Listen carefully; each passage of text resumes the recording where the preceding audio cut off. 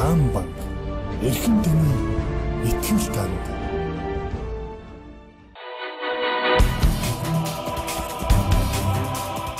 Сан байцаагано хан банкны ажилтнуудаа Хаан банк 2013 оны 4-р сараас эхлэн мэдээллийн аюулгүй байдлын удирдлагын тогтолцоог Төв банкны үйл ажиллагаанд нэвтрүүлэхээр бэлтгэж эхэлсэнийг та бүхэн мэдэж байгаа билээ.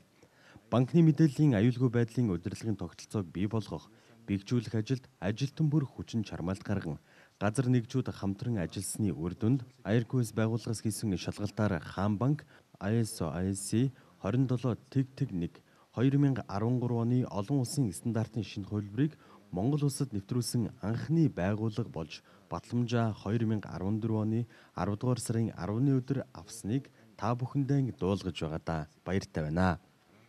Банк санхүүгийн байгууллагуудын хувьд мэдээлэл нь маш үнцэнтэй чухал хөрөнгөд тооцогддог.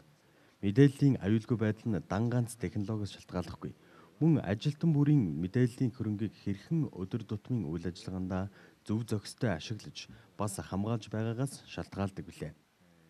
Мэдээллийн аюулгүй байдлыг зохистой хангахгүйгээс байгууллагын нэр хүнд харилцагчийн банкнд итгэх итгэл үнэмшилд сөргөөр нөлөөлж цаашлаад банкны үйл ажиллагаа зогсох хүртэл аюул занал учруулж болно.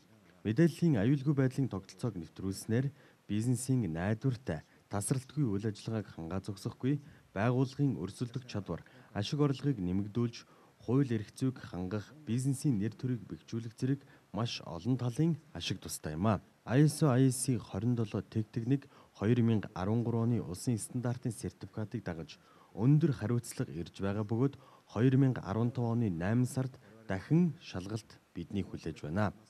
Тиймээс цаашид ажилтан бүр өдөр тутмын ажиллагаанд мэдээллийн аюулгүй байдлын удирдлагын тогтолцоог баримтлан мэдээллийн аюулгүй байдлыг ханган ажиллахыг хүсэж байна анхаарлаа хандуулсанд баярлалаа. Та бүхэндээ ажлын өндөр амжилт хүсье.